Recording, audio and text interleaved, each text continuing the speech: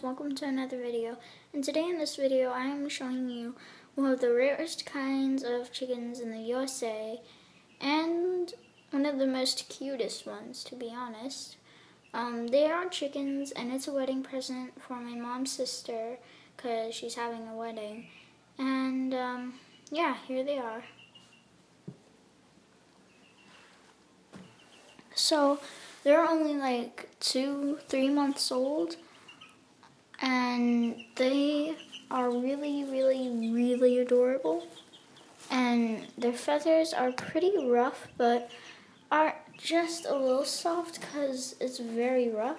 Oh, look at that one. So that's the rooster. I, I mean, it's not really a rooster because it's only like, their chicks, only two months old. But not like chicks like you're thinking, like tiny ones, but yeah. Pretty big to be honest, and they had a really hard day today, so they're sleeping.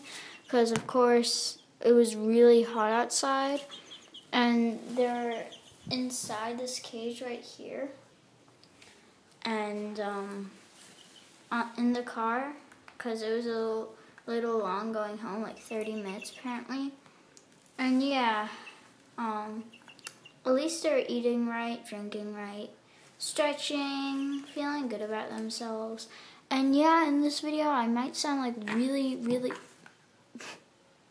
wow, spazzing there. I might sound like really, really weird because I got two teeth pulled yesterday.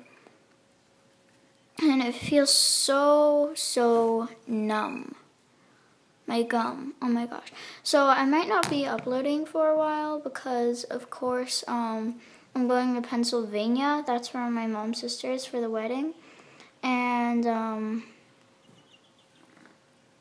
oh my gosh. And it's, it's going to be like for a whole week. And then after that week, right, that day, the next day, would be going back to school. So there'll be a whole day of, I mean, yeah, a whole day of driving to Pennsylvania and then going to Pennsylvania for the rest, which tomorrow is that day, and then a whole day driving back, which is gonna be super miserable since I have motion sickness. So yeah, that's pretty much it. And this one is being so cute. So when the male grows up, which you can see, it's growing all this like orange feathers. It'll have like this golden orange um, neck to on the tip of, to the tip of its beak, like its whole face and neck.